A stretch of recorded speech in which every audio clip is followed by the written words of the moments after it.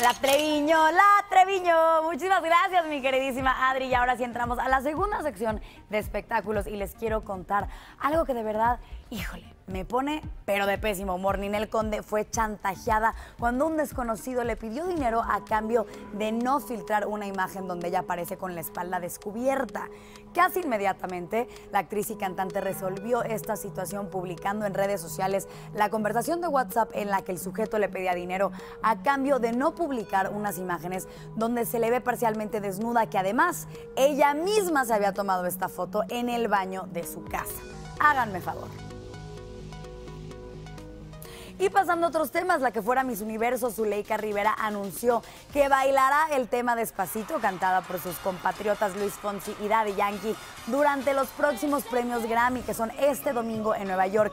La puertorriqueña dijo que también será la primera canción que va a estar presentándose completamente en español en los Grammy. Y eso es un orgullo para todos los latinos. Zuleika ha comenzado a calentar el ambiente en sus redes sociales y aparece bailando uno de los éxitos de J-Lo, Let's Get Loud, y también el nuevo tema de Daddy Yankee, Dura.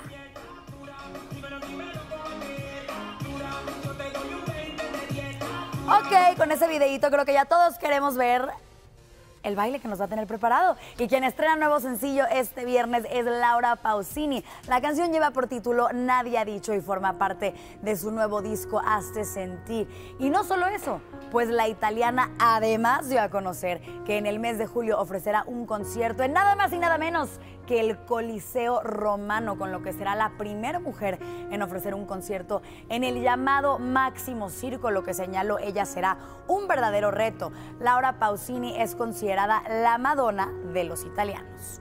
Imagen Noticias con Paco Sea, lunes a viernes 5.50 AM. Participa en Imagen Televisión.